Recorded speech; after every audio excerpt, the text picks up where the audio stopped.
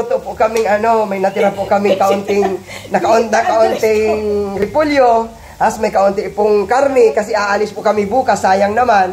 Tapos ano pa yung nandyan? May hipon. Oo, may karo. Ay, ayan, tinakpan niya. Ayan, kaunting halo-halo muna po. Sinasangkot siya muna daw po. Yan, ganyan niya para sumarap. Yan po ang lulutuin ko, kaunti. Pwede na sa dalawa katao, kaya hindi pwede siyang mamigay.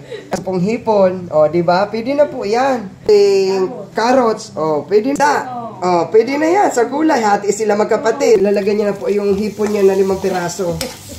Ayan, tinubigan na po siya. Ayan, nilagay na po ang kanyang carrots. Ayan na po. Mm-mm.